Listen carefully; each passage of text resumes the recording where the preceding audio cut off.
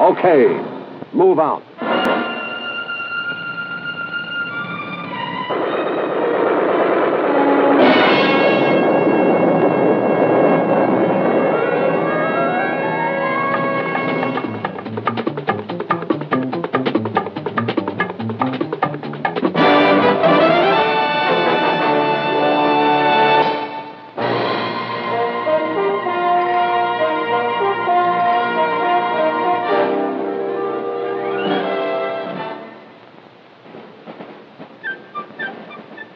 Early American citizen soldiers' weapons were pitifully inadequate by today's standards.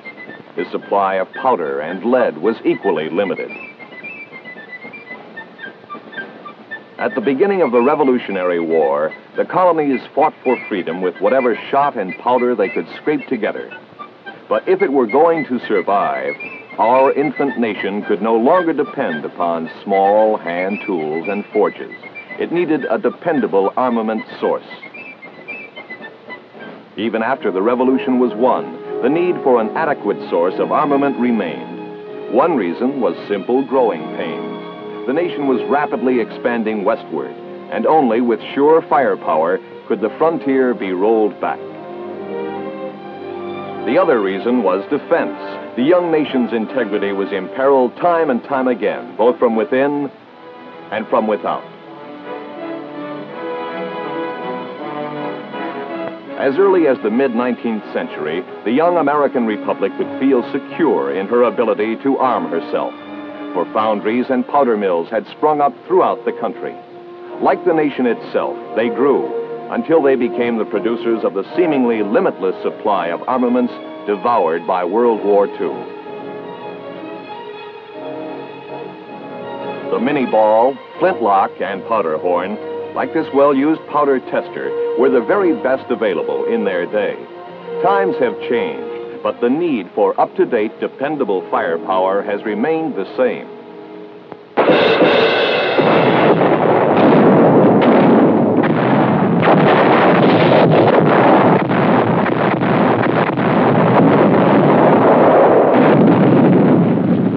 Today's armament is so complex that there's simply no room for confusion or uncertainty.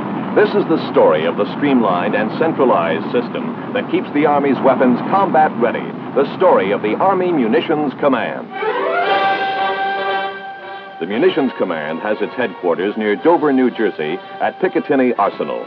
It provides the Army with firepower for all its weapons systems. The task is staggering. It involves keeping firm control of 4,400 different products, and those are only the end products. Secondary items run to 44,000. Picatinny Arsenal is the Army's main research and engineering center for both nuclear and conventional munitions. Picatinny has lived up to its responsibilities, and that hasn't always been easy. When an unprepared United States entered World War II, there was no other plant in America that could produce anything larger than small arms ammunition. Picatinny had a twofold job. It had to provide private industry with the technical know how for the desperate fight ahead, while it was filling the production gap by itself. The arsenal turned out countless millions of munitions items, and at the same time trained thousands of workers in highly specialized skills. But that was years ago, an atomic age ago. Today, Picatinny, like all elements of the Munitions Command, is concerned not with the accomplishments of yesterday, but with the challenges of tomorrow. Challenges that the Arsenal's 7,000 engineers, scientists, and skilled workers have always been determined to meet. Back in 1953, a successful test of a new 280 millimeter shell opened a new era, the era of atomic artillery.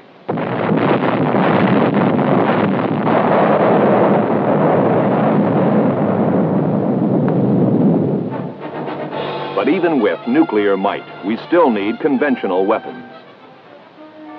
Research, development, and exploration. These bring about enormous improvements in existing weapons, as well as new ideas to keep pace with the future. Streamlining projectiles and redistributing their weight cuts down on aerodynamic drag. With a hollow base, there's more room for the propellant. Ballistic studies like this have led to range increases of 30%.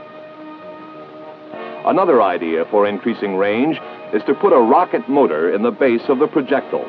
The motor ignites after the initial gun thrust loses its kick. Research and development have also heightened the effectiveness of munitions. Fragmentation, for example, has increased by 70% as a result of new materials. Totally new items have appeared, such as this anti-personnel mine. Or this new anti-tank mine. Research in many areas contributed to their development.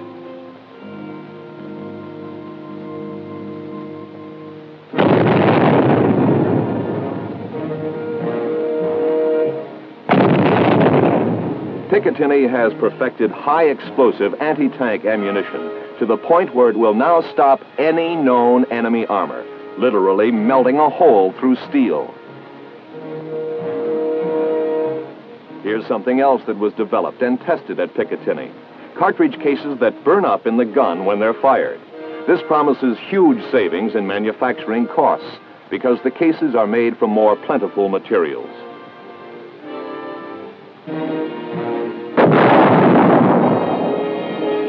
They'll reduce noxious fumes inside tanks and also eliminate the backbreaking job of hauling away spent cartridges. Here's a new development that looks like silly putty and behaves like flypaper. It's a plastic demolition charge that you can slap on your target like a band-aid.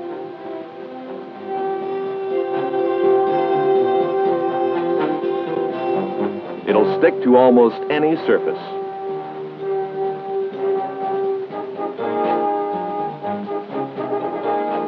But it works like the deadly explosive that it is, even underwater.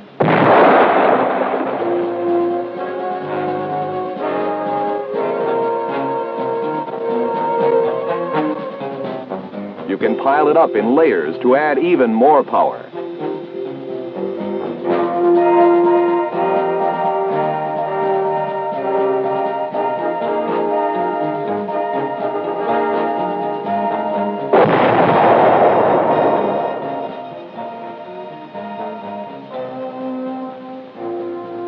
There's a built-in safety factor, too. It works only when you want it to. Unless you put a fuse on it, it'll take any amount of punishment without exploding. But put that fuse on, and it's something else.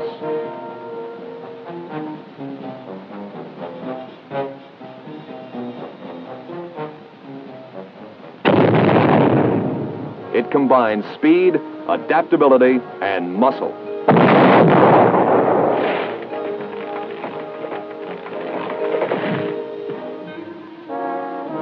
Other current projects include studies of new concepts in rocket engines, new propellants, and the use of liquid propulsion for artillery projectiles.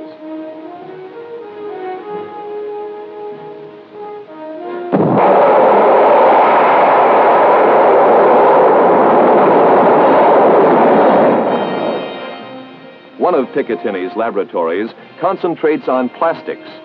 Here they collect and evaluate information for the entire Defense Department. The result warheads and gun barrels made of plastic, inexpensive, lightweight, non corrosive, adaptable. Plastics have provided simple answers to many complex problems. Warheads and propulsion systems are a part of the story, but there's more to modern firepower than that. In the Pyrotechnics Laboratory at Picatinny, work is being done on space tracking, too. This vacuum chamber tests specially designed photo-flash cartridges to see if they'll be dependable in outer space. They're visible for over a thousand miles. The idea is for the missile in flight to fire several cartridges one after the other. Even against a backdrop of natural stars, this trail of flashbulbs will show up quite clearly on a photograph. The result missile tracking even more accurate than through electronics. Another area that's under study at Picatinny is called weapons vulnerability. One irony of science is that technological advances in one area often cause problems in another. For example, some munitions are fired by electrical energy. That's fine if you've got your finger on the power switch. But a nearby radio transmitter or radar equipment can fire them accidentally or knock them out of commission altogether. Picatinny Arsenal is tackling that problem, a tough one, but no tougher than others it has solved in the past.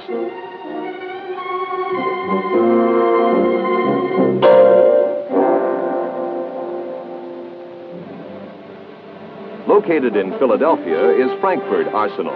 It's been one of the cornerstones of the nation's defense program for over 150 years. In physical size, Frankford is small, only 112 acres. But coming in a small package hasn't hampered Frankford's achievement. Its 6,000 employees are dedicated to their mission. Although it extends to other areas, that mission deals mainly with small arms ammunition. Almost every round of small caliber ammunition ever fired in our national defense was either produced or developed at Frankford. Here's one of the arsenal's latest developments a duplex cartridge. Each case holds two bullets, the rear one angled to send it on a slightly different path. It may not make a soldier a better marksman, but it will give him more hits. That's because the rear bullets strike in a random pattern a few inches from the front bullets. At Frankford, they're applying to small arms the principle of a caseless cartridge that burns up in the rifle. The greatest challenge has been to overcome cook-off or premature firing. There are also extraction problems, but Frankford isn't giving up. The obvious advantages of an economical, caseless, lightweight cartridge are enough to keep the staff hard at work on it.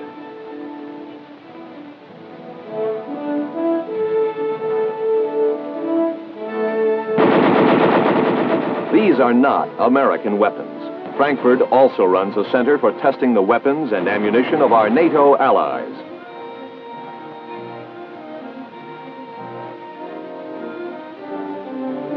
Frankford's major concern is with small arms, but it often supports the development of larger munitions, too. We tend to think of munitions in terms of explosives and gunpowder. There's more to it than that. Take the science of optics, for example. Modern weaponry leans heavily on lenses, reticles, and various complex optical instruments. Today, just about every weapons system in our arsenal relies on optics to sight and center on its targets and the optical aiming devices work on the same principles as those developed at Frankford.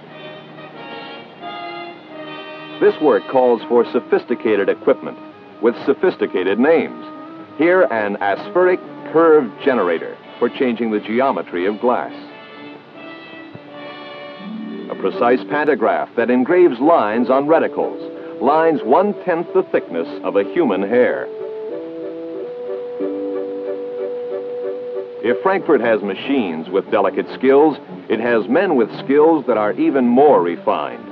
A required tolerance of 1 40th of a light wave leaves the machines behind and the men take over. There aren't many craftsmen whose art is polishing parabolic mirrors. Frankford Arsenal has them, as well as the highly specialized equipment they need. This particular study deals with automation to see how it can be applied to manufacturing military optics. This complete optical facility is unique to the Defense Department, and it serves the entire defense establishment.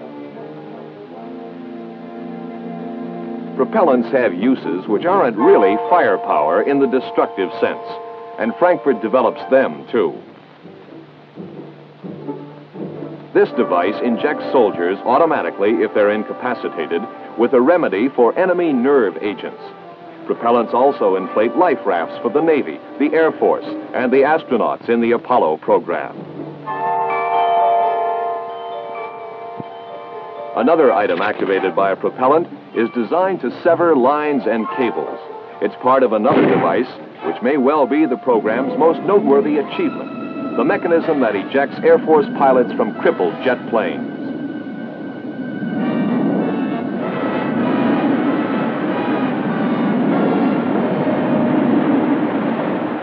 To get the pilots safely out, more than 30 propellant charges must fire, each one at precisely the right instant. The program has saved more than 3,000 lives with no known failures. Frankford's newest mission is to develop equipment that will automate the maintenance of military vehicles. When it's perfected, this apparatus will spot the defects of a vehicle engine instantaneously. Its forerunner, designed for tank engines, is already in operation. It has eliminated costly teardowns for inspection. The Army has countless items, from gun sights to barometers, in which precise calibration is vital. Also at Frankford is the Army Metrology and Calibration Center.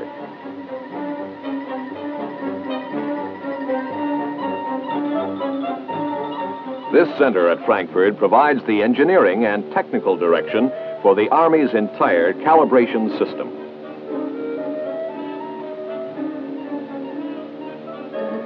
Highly skilled personnel ensure that our weapons will be checked with nothing but completely accurate equipment.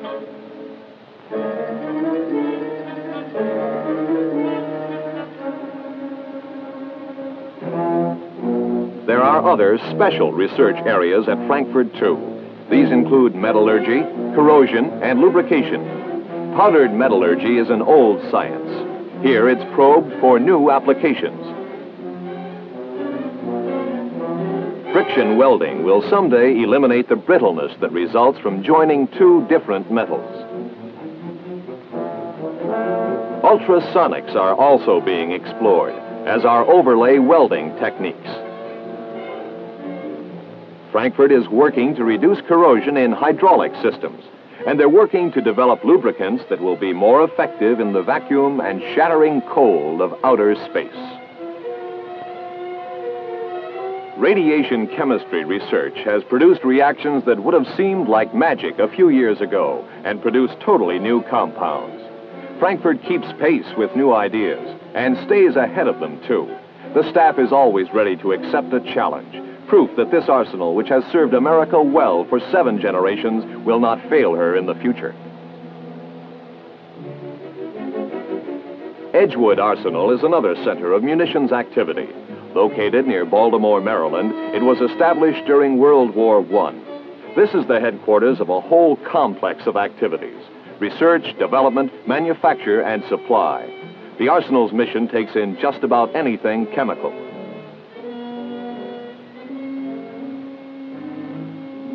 The complex includes three Army installations. It employs nearly 8,000 scientists, engineers, technicians, and craftsmen in many specialized fields. At Edgewood are the research, weapons, and defense development laboratories. These labs are responsible for developing defenses against chemical weapons. You'll find the same tools here that you would in any organic chemistry lab, and a few that you'd find almost nowhere else on Earth. This complicated instrument has a complicated name, a nuclear magnetic resonance spectrometer. Its function to pry into the secrets of the invisible and determine molecular structure. The products of this research and development include protective clothing and masks, guards against fallout or gas. This protective mask is standard issue to the military, and this is its civilian counterpart. It comes in all sizes. The masks are defensive weapons, but the products of chemistry can be offensive and include tactical weapons, a wide variety of smoke, flame, and incendiary munitions.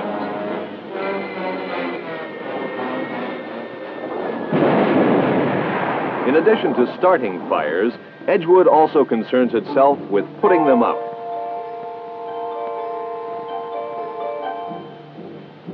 This work is on a special project requested by the Air Force and the National Aeronautics and Space Administration.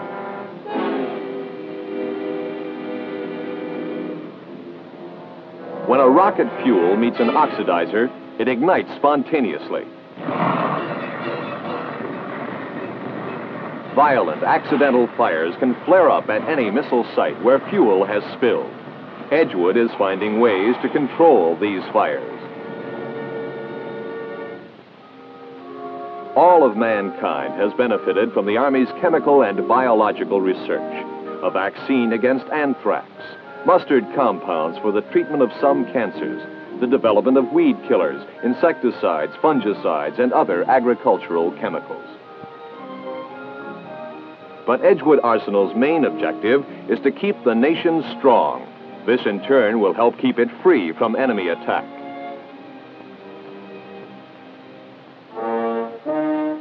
The Army Biological Laboratories are located nearby at Fort Detrick, Maryland, the center of the Army's biological research and development program. The research at Fort Detrick is similar to the work at Edgewood, but instead of chemicals, here it deals with biological agents. Working with deadly microorganisms is about as dangerous a business as you can find. This is evident from the safety precautions needed to protect the researchers from accidental infection.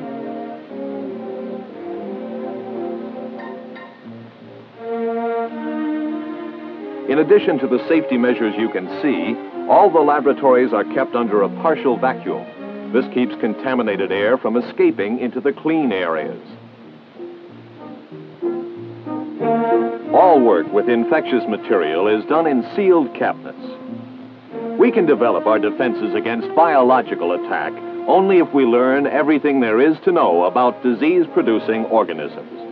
Research such as this has had important applications in medical science, leading to the development of vaccines against many diseases. Other results of this continuous study have included rapid warning devices for biological attack and antidotes for biological agents. Development of a complete defense against possible biological attack is the sole objective at Fort Detrick. Even after munitions are designed, developed, tested, and proved, there's still an enormous problem producing them and getting them to the soldiers in the field. It means knowing who has what, how long it's been there, what shape it's in, how much of it there is, how much more is needed, and making sure that replacements arrive on time. It adds up to a tough and exacting job.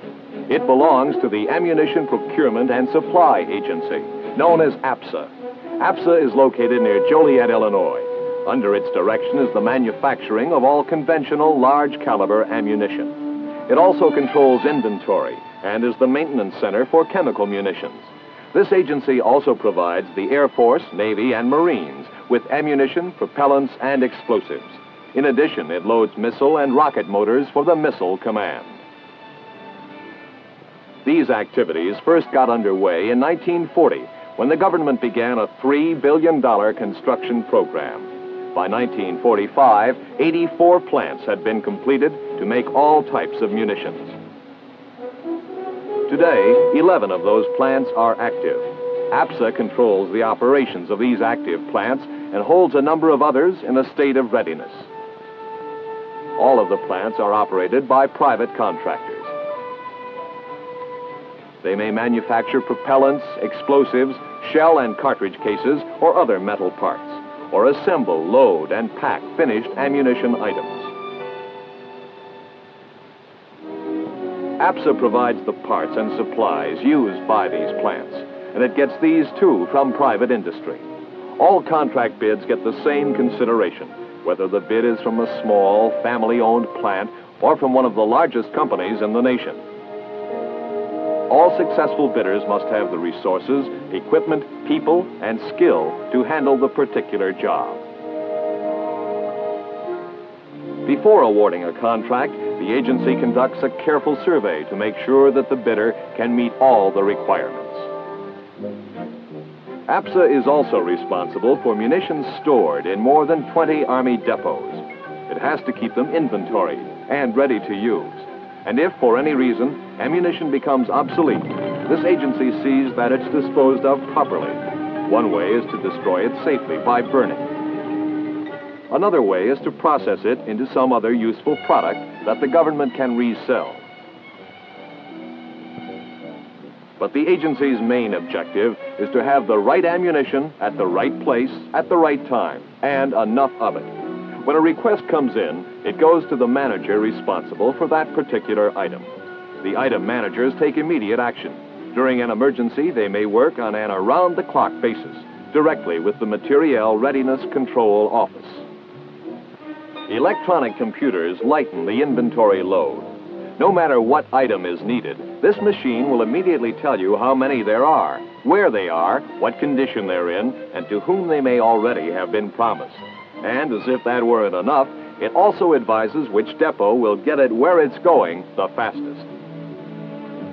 Everything that came before, the research and engineering, were of course indispensable. But it's procurement and supply that actually, physically, places the tools of combat in the hands of the fighting man, whenever and wherever he needs them. To the layman, it's the spectacular blast of an explosive that tells the story of munitions. But to those in the business, the story lies in the painstaking day to day tests, the obstacle course that every item must pass before it's given to our fighting men. Can it withstand the force that sends it on its way?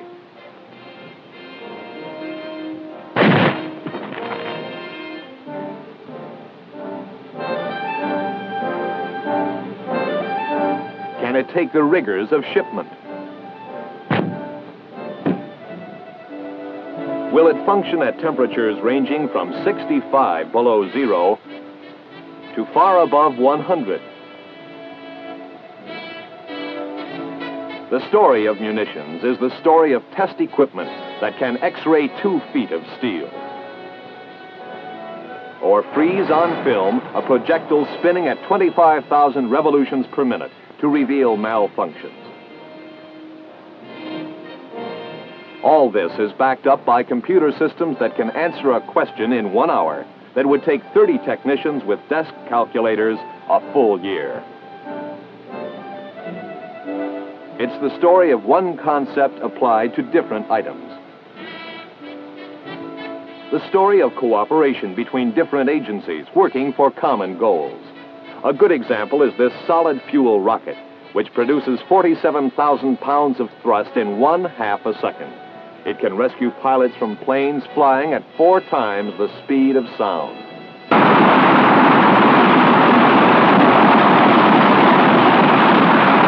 The story of firepower is the story of the Munitions Command's daily efforts to do its job and do it well at Picatinny Arsenal,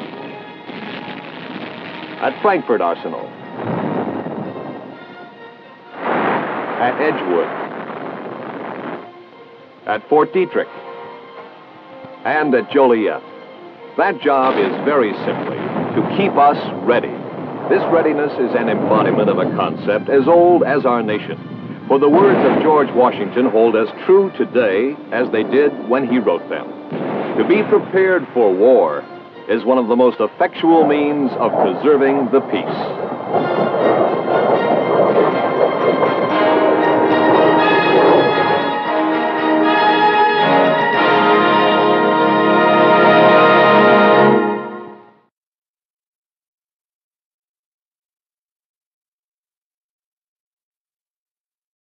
that there's simply no room for confusion or uncertainty. This is the story of the streamlined and centralized system that keeps the Army's weapons combat ready. The story of the Army Munitions Command.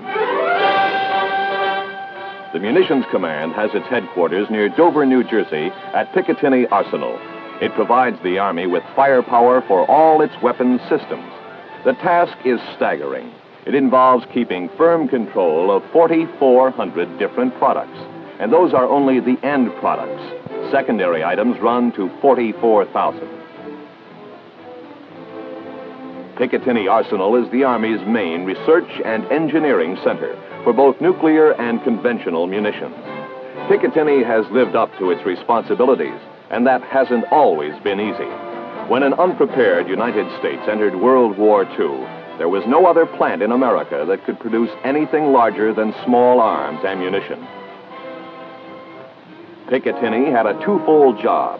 It had to provide private industry with the technical know-how for the desperate fight ahead, while it was filling the production gap by itself. The arsenal turned out countless millions of munitions items, and at the same time trained thousands of workers in highly specialized skills. But that was years ago, an atomic age ago. Today, Picatinny, like all elements of the munitions command, is concerned not with the accomplishments of yesterday, but with the challenges of tomorrow. Challenges that the Arsenal's 7,000 engineers, scientists, and skilled workers have always been determined to meet.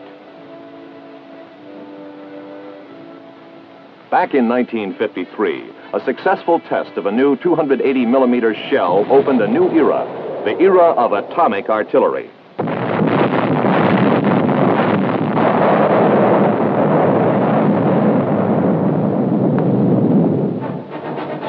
Even with nuclear might, we still need conventional weapons. Research, development, and exploration. These bring about enormous improvements in existing weapons as well as new ideas to keep pace with the future. Streamlining projectiles and redistributing their weight cuts down on aerodynamic drag. With a hollow base, there's more room for the propellant. Ballistic studies like this have led to range increases of thin safety factor, too. It works only when you want it to. Unless you put a fuse on it, it'll take any amount of punishment without exploding. But put that fuse on, and it's something else.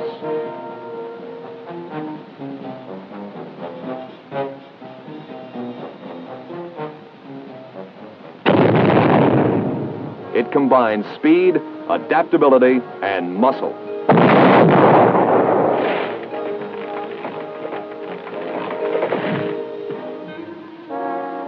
Other current projects include studies of new concepts in rocket engines new propellants, and the use of liquid propulsion for artillery projectiles.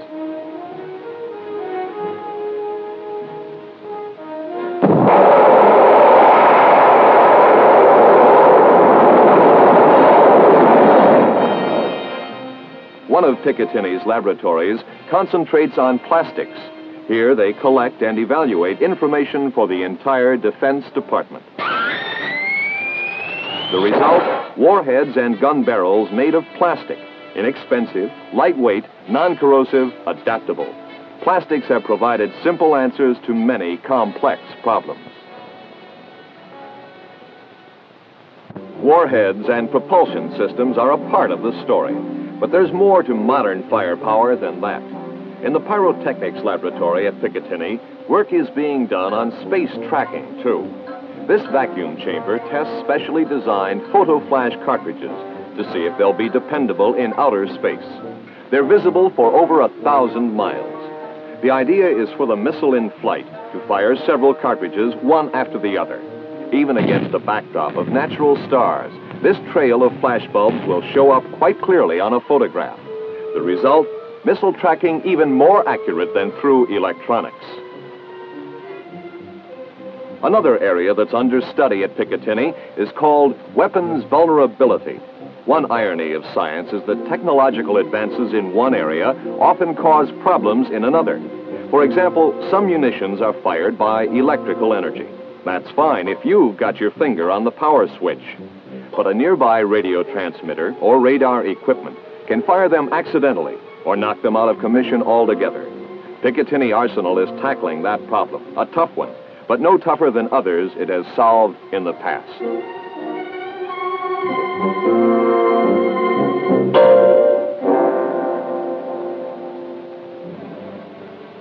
Located in Philadelphia is Frankford Arsenal. It's been one of the cornerstones of the nation's defense program for over 150 years. In physical size, Frankford is small, only 112 acres but coming in a small package hasn't hampered Frankford's achievement. Its 6,000 employees are dedicated to their mission. Although it extends to other areas, that mission deals mainly with small arms ammunition. Almost every round of small caliber ammunition ever fired in our national defense was either produced or developed at Frankford. Here's one of the arsenal's latest developments a duplex cartridge. Each case holds two bullets, the rear one angled to send it on a slightly different path. It may not make a soldier a better marksman, but it will give him more hits. That's because the rear bullets strike in a random pattern a few inches from the front bullets. At Frankford, they're applying to small arms the principle of a caseless cartridge that burns up in the rifle. The greatest challenge has been to overcome cook-off or premature firing. There are also extraction problems, but Frankford isn't giving up. The obvious advantages of an economical, caseless, lightweight cartridge are enough to keep the staff hard at work on it.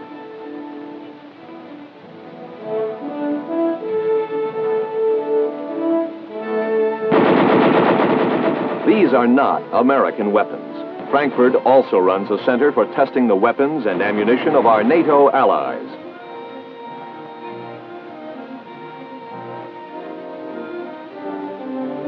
Frankford's major concern is with small arms, but it often supports the development of larger munitions, too. We tend to think of munitions in terms of explosives and gunpowder. There's more to it than that. Take the science of optics, for example. Modern weaponry leans heavily on lenses, reticles, and various complex optical instruments. Today, just about every weapons system in our arsenal relies on optics to sight and center on its targets and the optical aiming devices work on the. Okay, move out.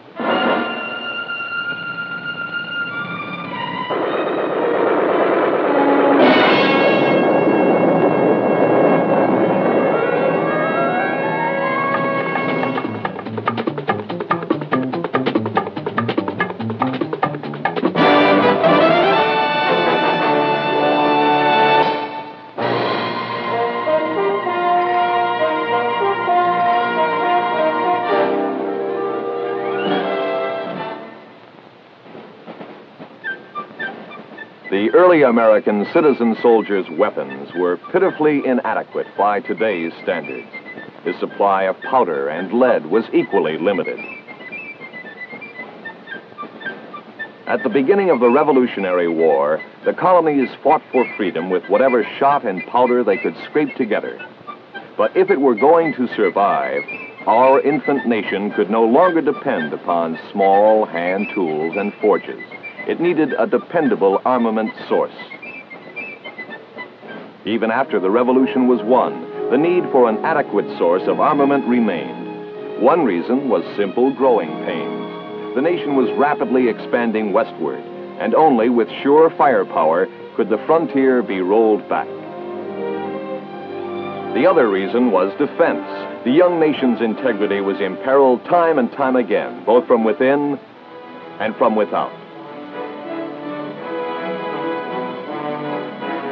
As early as the mid 19th century, the young American Republic could feel secure in her ability to arm herself, for foundries and powder mills had sprung up throughout the country. Like the nation itself, they grew until they became the producers of the seemingly limitless supply of armaments devoured by World War II. The Minié ball, flintlock, and powder horn like this well-used powder tester, were the very best available in their day.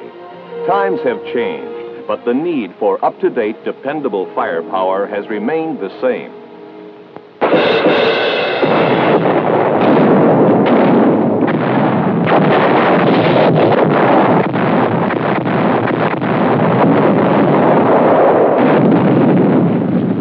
Today's armament is so com 40%. Another idea for increasing range is to put a rocket motor in the base of the projectile. The motor ignites after the initial gun thrust loses its kick. Research and development have also heightened the effectiveness of munitions. Fragmentation, for example, has increased by 70% as a result of new materials. Totally new items have appeared, such as this anti-personnel mine, or this new anti-tank mine. Research in many areas contributed to their development.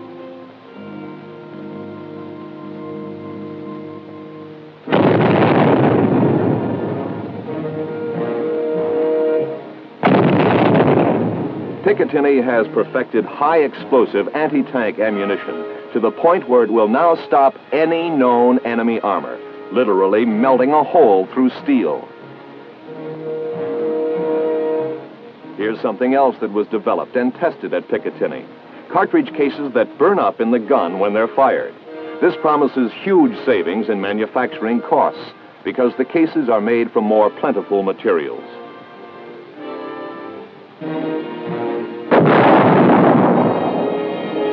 They'll reduce noxious fumes inside tanks and also eliminate the backbreaking job of hauling away spent cartridges.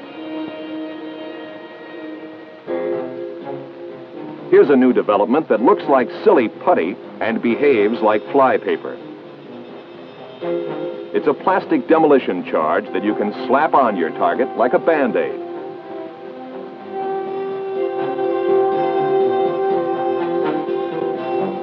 It'll stick to almost any surface.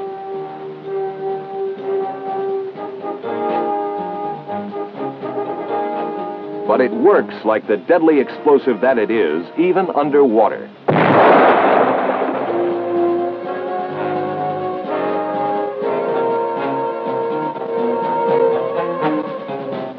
You can pile it up in layers to add even more power.